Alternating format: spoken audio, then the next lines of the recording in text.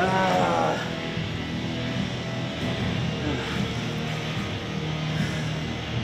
ー。パワーはすごい。それは認める。パワーはすごいのは認めるけども。それ以外はあいつにまだこの新日本で足りないものはあると思う。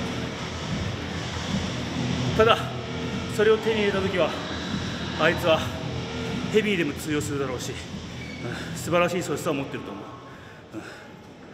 ただあいつが試合前に言ってたなんかあいつがドラゴン俺がタイガー竜子とかって言ってたけどそんなもの俺に当てはめないでくれ。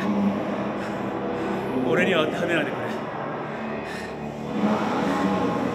それは俺には関係ない。お前はお前の道を行けばいい。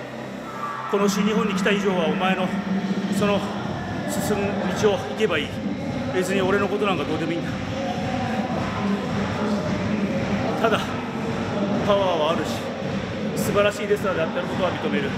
ただあいつにまだ足りないものはあると思う。それは自分で確かめろこの新日本に来てどれぐらいなのか俺はもう分からないし。あいつの経歴なんて俺は知らねえし。知る由もない。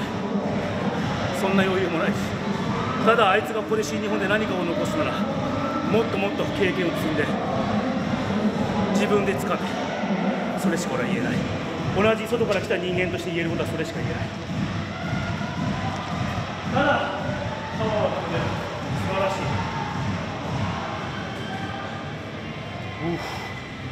い。危ねえ。ジュニアタックリーグの時とは違う。タイガーモスコ見たね。うん。強くて。怖いタイガーを見たよ。